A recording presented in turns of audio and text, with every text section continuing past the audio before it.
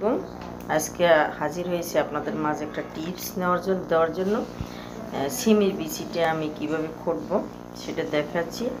এটা আমি প্রথমে আসলে গরম পানিতে দশ মিনিট ভিজিয়ে রাখব, একটু গরম পানি করে তারপর আমি খুঁটবো যখন দেখাবো।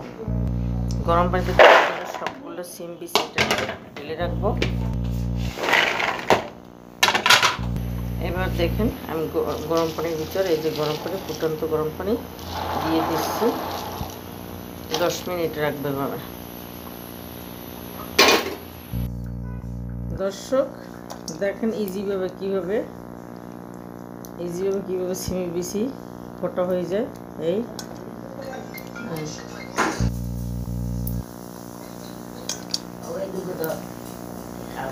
এই। দেখেন, এই একটা চাপ দিলেই হয়ে যায় এগুলো আমি এইভাবে, এই দেখেন, এইভাবে ই করব সবগুলো এইভাবে।